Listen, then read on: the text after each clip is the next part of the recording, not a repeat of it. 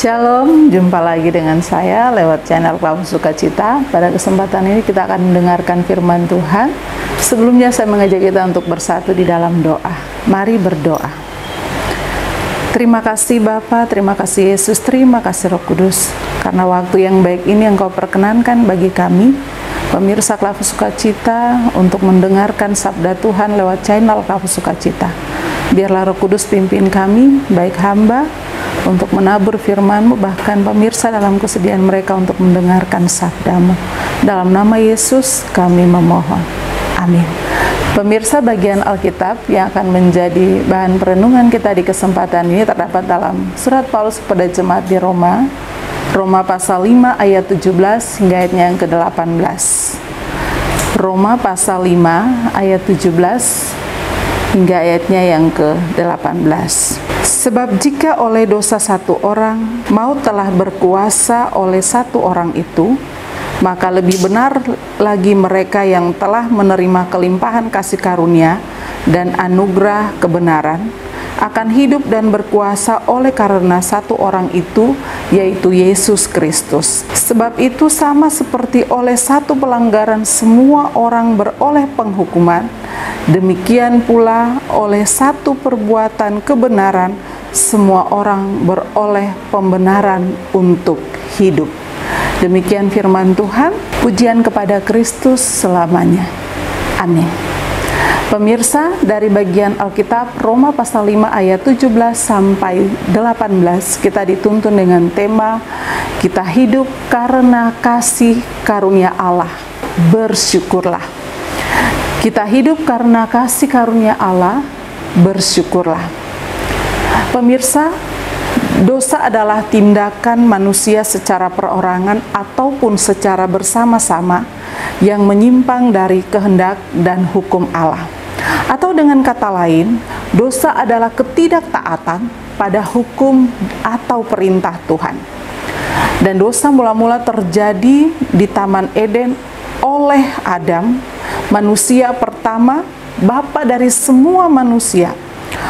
Oleh karena ketidaktaatan Adam terhadap perintah Tuhan, maka Adam jatuh ke dalam dosa. Dosa mula-mula melahirkan dosa baru dan begitu terus-menerus dan Tuhan tidak membiarkan manusia ada dalam penghukuman dan dikuasai oleh maut itu.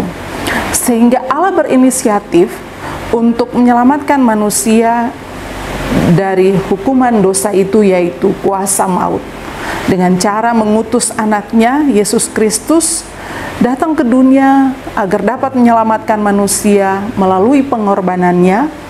Ia mengalami kesengsaraan, mengalami kematian, dikuburkan, lalu bangkit. Pemirsa, kebangkitan Yesus Kristus sesungguhnya memberi kemenangan, memberi kebebasan bagi manusia dari hukuman itu. Itu sebabnya Rasul Paulus menjelaskan dan menegaskan kebenaran ini kepada jemaat di Roma lewat ajarannya.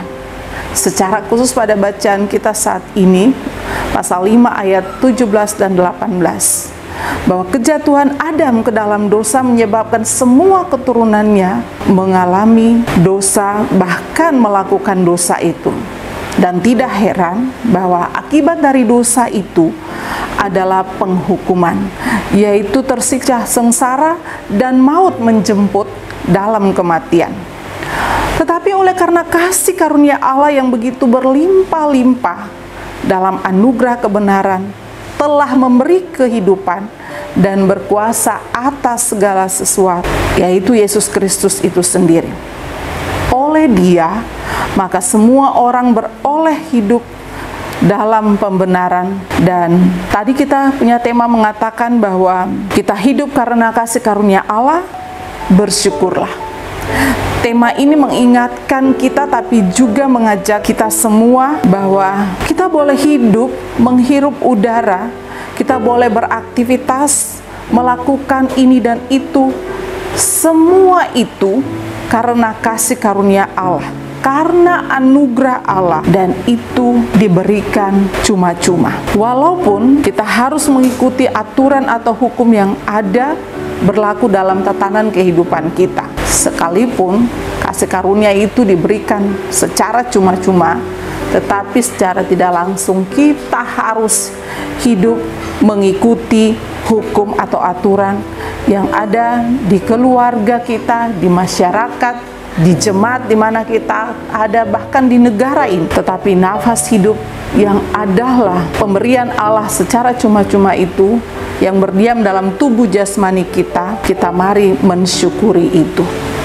Bersyukur untuk anugerah kasih karunia yang Allah berikan secara khusus nafas hidup yang Tuhan masih berikan. Oleh sebab itu, pertanyaan bagi saya dan Bapak Ibu pemirsa sekalian, apa yang dapat kita balas, berikan untuk menghormati anugerah Allah itu? Tentunya adalah dengan bersyukur. Bahwa dengan bersyukur tanda bahwa kita menghormati Tuhan, menghormati Allah dan mengakui bahwa Ia adalah Tuhan yang berkuasa. Oleh sebab itu, mari saya dan Bapak Ibu pemirsa sekalian, kita menyatakan syukur kita kepada Tuhan atas kasih karunia Allah yang diberikan kepada kita cuma-cuma itu harus kita tunjukkan dengan hidup dalam ketaatan atau dalam kebenaran akan firman Tuhan. Taat terhadap hukum atau perintah-perintah Tuhan. Mengasihi Allah dan mengasihi sesama manusia. Tuhan memberkati kita dengan firman. Amin. Mari berdoa. Terima kasih Bapak, terima kasih Yesus, terima kasih Roh Kudus. Kesempatan yang baik ini kami boleh mendengarkan firman Tuhan.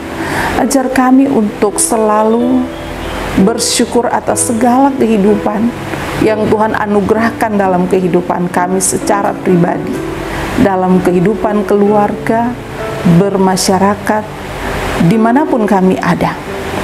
Biarlah Tuhan Engkau memeteraikan firman-Mu dalam hati dan kehidupan kami, supaya ketika kami menghargai anugerah itu, menghargai kasih karunia Allah itu, kami hidup dalam ketaatan, seperti yang engkau mau lewat firman.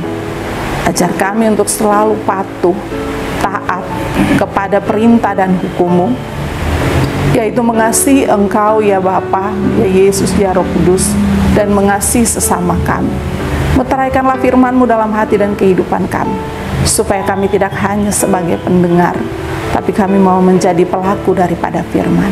Berkati pemirsa Klavos Sukacita di mana saja mereka berada dalam seluruh keberadaan hidup mereka apa pun itu ya Tuhan biarlah engkau hadir memberi kekuatan memberi kesanggupan memberi kesehatan memberi jalan keluar memberi umur panjang bagi mereka untuk mereka tetap ada dalam sukacita di dalam Tuhan tapi juga memuliakan engkau dalam setiap keberadaan hidup mereka Terima kasih Bapa, terima kasih Yesus, terima kasih Roh Kudus terpuji-puji namamu dari dulu kini hingga selamanya.